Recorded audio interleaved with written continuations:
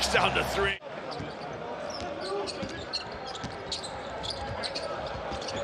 Good defense from Barr, but Hunter gives it away cheaply. But now Winston pulls up in transition, probably a little quick. Again, he's looking for another foul. It's a three on two. Oh, I thought Shaquielle McKissic was going to send it down for us, but he glides to the basket. We wondered what would happen to their fans, but they stuck around for the third place game.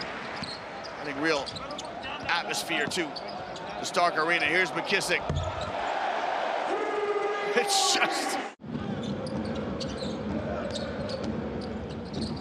Cross-court pass to Larentzakis.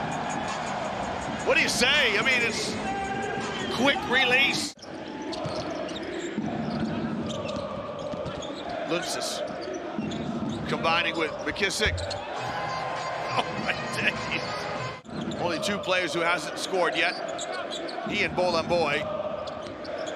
Bolomboy wide open down the lane while he's on the score sheet now. Joe Bolomboy with a high pick and roll. The bounce pass is the scoring pass. At number 21 for Olympiacos, Joe Bolomboy in his first season with the Reds. You're gonna drop a dime to somebody or he's gonna hear about it in the changing room. Here he's gonna set a little drag screen for McKissic. McKissic rejects it and lays it up and in and have their chance to get another one. I just can't believe it.